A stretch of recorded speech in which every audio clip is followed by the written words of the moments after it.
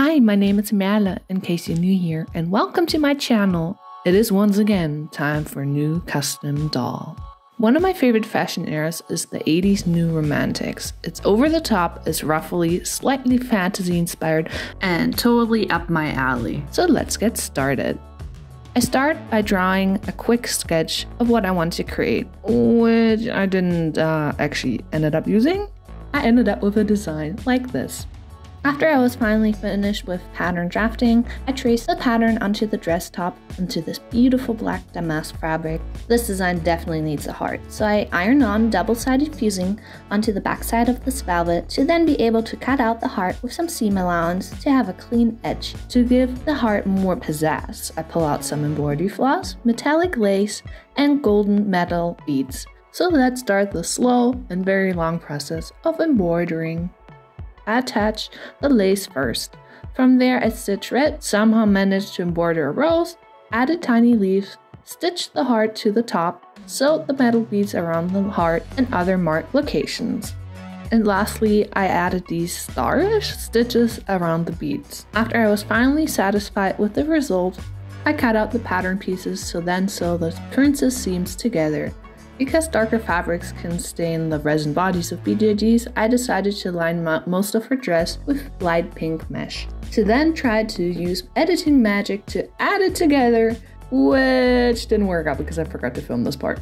Over on Instagram, I asked you in a poll which fabric I should use for the sleeve. I ended up with a tie between the left and the right option, uh, but uh, I went with the middle option because I forgot to uh, add that to the poll and I liked it best. Sorry. Once again, I start by tracing the pattern onto my damask fabric and mark where I want to add all the embroidery.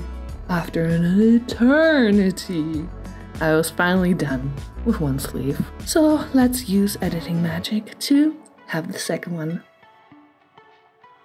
Now just the cuffs are missing for the sleeve.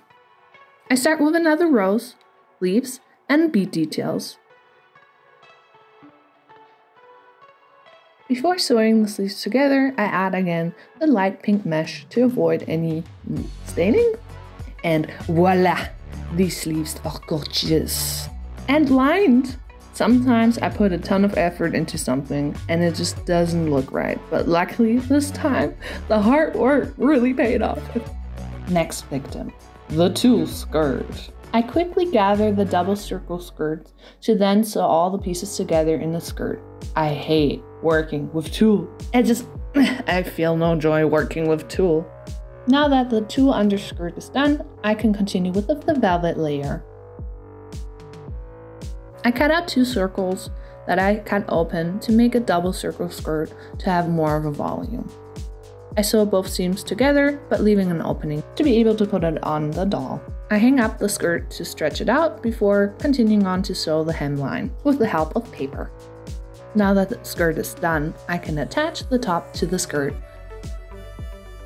To add more extravagance to the skirt, I decided to sew this antique metal lace around the skirt's hemline with editing magic.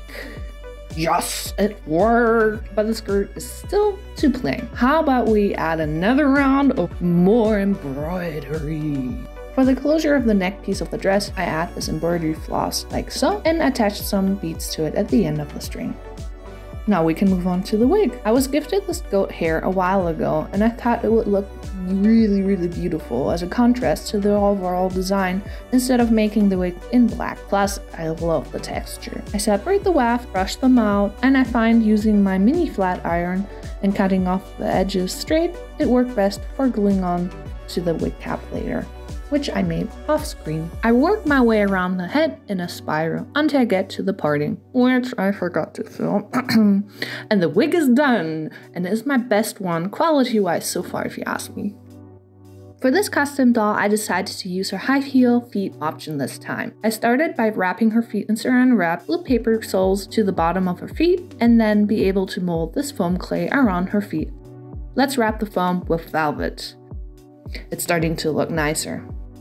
From there, I add this faux fur leather to the sole of the shoes. I clean up the edge by gluing embroidery floss around it. To make it more cohesive, I also add this embroidery to the velvet. Lucky was able to stitch through the foam clay to accomplish this. Now we're only missing the face up. So let's go over to Marieke. With a base of 3 layers of MSC, she was then able to start blushing the face and sketching out the eyes. Slowly Marieke built up the layers of deepening the colors. Lastly, she added acrylic paint to deepen the colors and make them pop more. And of course, some micro glitters weren't missing. And with this, we're finally ready for a reveal.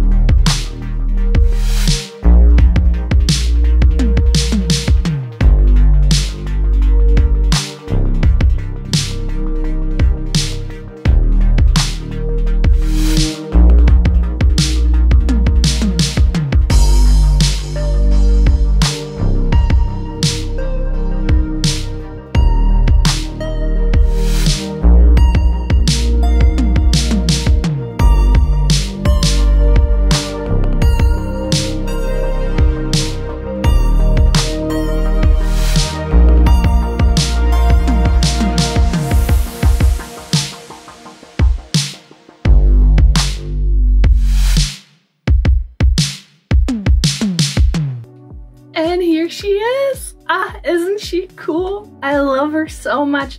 I love the untamely hair because I really like that about the new romantic and the trad goth scene, how it has this whew, hair and I think she turned out really, really nice.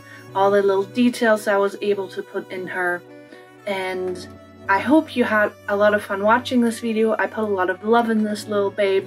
If you made it to this part of the video, thank you so much please consider subscribing, maybe leave a like, maybe leave a comment what you thought of this doll, and I hope to see you soon in another video.